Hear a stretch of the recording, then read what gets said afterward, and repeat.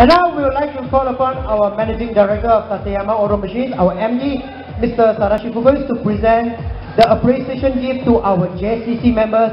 They've worked throughout the day, week, and even months to organize a lovely event for every one of you here today. Let's